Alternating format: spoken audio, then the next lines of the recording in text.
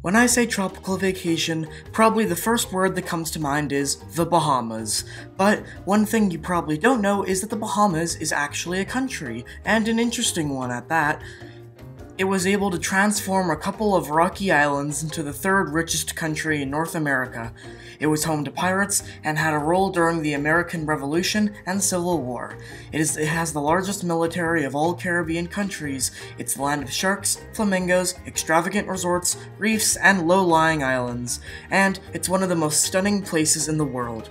Today, 50 years after independence, we cover the place's unique history and dive into its geography, economy, and politics of today. So, let's take a look at the history of the Bahamas. First people to settle in the islands of the Bahamas were the Taino people. However, they did not stay for long because the rocks on the Bahamas are horrible for tool making.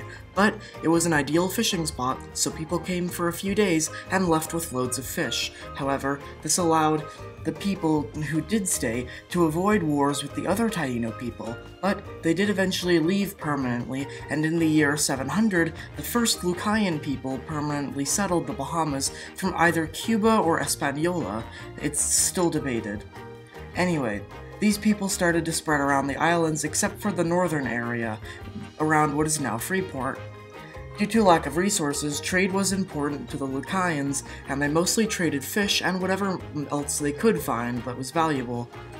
In 1492, Columbus landed on San Salvador Island, and this was a peaceful landing. However, the Lucayans did help supply Columbus's ship and gave him exotic Lucayan goods. All in all, they saw each other positively, however, he also kidnapped some to take home.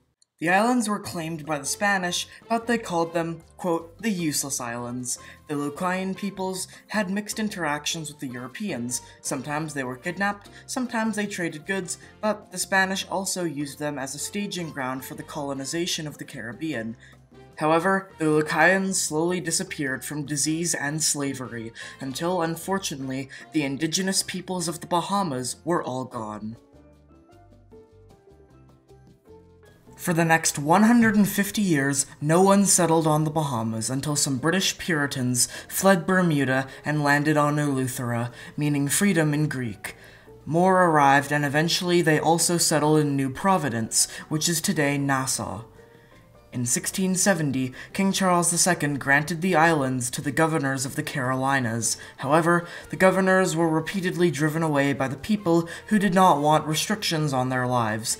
It was around this time that piracy became popular. With all the ships wrecking in its shallow waters, the Spanish, the pirates, and the French repeatedly raided the Bahamas and burnt down towns. It was also around this time that the islands got their name, derived from the word Bahamar, meaning shallow waters. The new governor had connections with the pirates and was even broken out of jail by them. The new governor had helped develop the colony, however, he did allow pirates to work for the governor to defend the islands. However, this did not work as in 1703 a joint Spanish-Franco expedition briefly occupied the islands during the Spanish War of Secession, and many of the privateers were unemployed and became pirates. They founded the Pirate Republic and caused a ton of problems for literally everyone, including themselves. British offered a reward and forgiveness to any pirate who surrendered. Most took up the offer, and when the new governor arrived, the pirate republic was no more. Some colonists also arrived in the Bahamas, and it slowly grew. However, during the American Revolution, the Spanish took over the Bahamas, and after the war, loyalists fled to the Bahamas. Since the soil in the Bahamas did not allow for tons of plantations, slaves were actually treated well, and eventually were freed earlier than others it was also nice for them because it was paradise. The island also helped Confederate ships and allowed them to dock. Soon, during the 1890s, people used Nassau as a trading port and the economy skyrocketed. During the First World War, only 30 Bahamians served. In the 1920s, more money came to the island when the US outlawed alcohol. People went there to drink and relax, which saw the first cruise ships make their way to the island, though most were ocean liners doing cruises. However, most of them still went to Cuba, but this would not be forever. In 1940, the Duke of Windsor went to the Bahamas and became governor. He described the islands as a third class colony but improved infrastructure, curbed poverty, and helped stop riots. However, he always hated the Bahamas because of its mostly black population.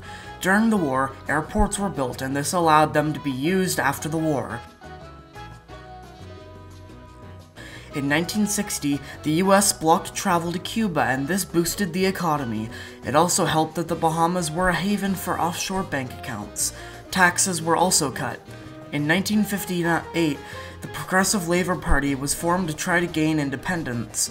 During this time, the United Bahamian Party was formed and its goal was to keep the Bahamas British. However, the elections were rigged and the UBP won. During the next election, the two parties won the same amount of seats. However, the Labour Party supported the PLP, and they won. This made them the first black government, and in 1968, Sir Lynden Pindling announced the Bahamas would seek full independence. On the 22nd of June 1963, the House of Lords voted to give Bahamas full independence, and on July 10, 1973, Prince Charles announced that the Bahamas was now a Commonwealth. The Union Jack was lowered, and in its place rose a flag with blue and yellow stripes for sand and water, and a black triangle symbolizing the black people of the Bahamas to move forward.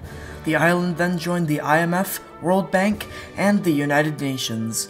Using tourism and offshore finance, the Bahamas economy prospered, and cruise lines like Carnival, Norwegian, Royal Caribbean, and Premier made the country famous and boosted the economy. However, education, healthcare, housing, drug trafficking, and immigration from Haiti will continue to be issues. In 1980, a Bahamian patrol boat was sunk by a Cuban jet while towing illegal fishermen out of Bahamian water.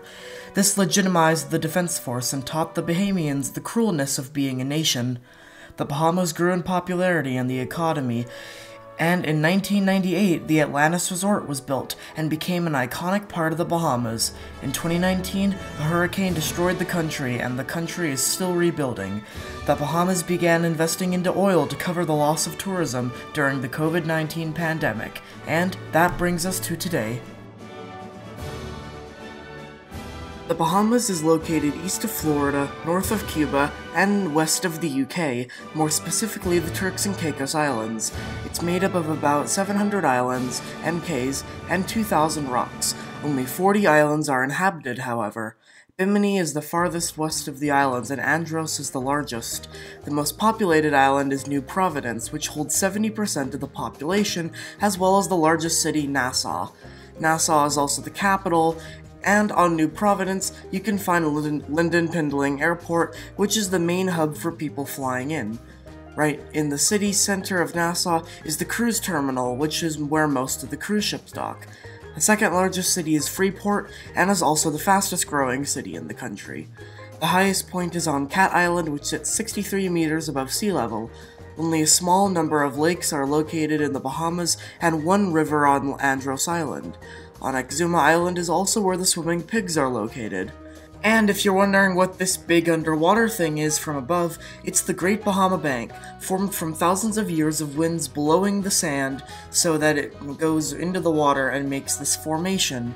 And from the surface as well, it's pretty stunning. This is why I say the Bahamas is one of the most beautiful places.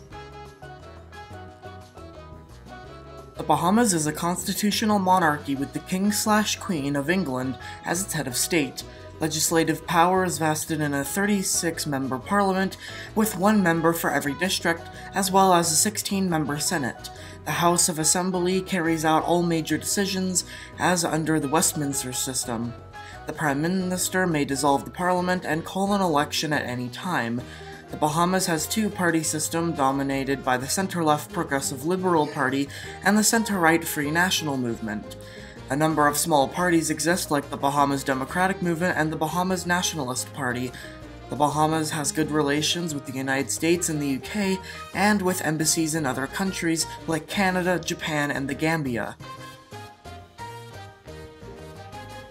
Its military is the Royal Bahamas Defense Force, with the Navy, which is composed of a land unit called the Commando Squadron, and an air wing, which is the Air Force. However, it only consists of King Airs, P-68s, and Cessna Caravans, which isn't really good for intercepting things, but it's good for scouting at least.